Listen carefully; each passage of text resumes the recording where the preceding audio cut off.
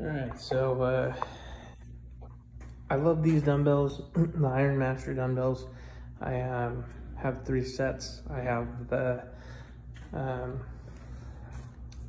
I'm blanking on what it's called, the heavy handle. Um, they're great, like you can drop them. Um, they're a little hard to change, but um, they're, they're the most like real dumbbells that I've seen.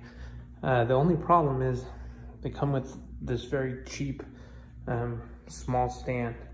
And so um, I went through and I built this.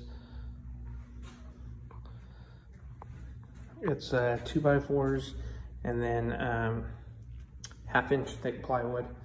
So it's, um, you know, I don't have a rating on it, but um, it holds all the weight, all the weights on the bottom shelf right there. And then the mid shelf, I have a second set of dumbbells and then my two and a half plates. And then the top will hold that. And It'll also hold me on top of it. So it's uh, pretty strong, pretty sturdy. Um, if anybody's interested, just let me know in the comments and I will, um, at one point, build another one so that uh, everybody can see how it's done step by step.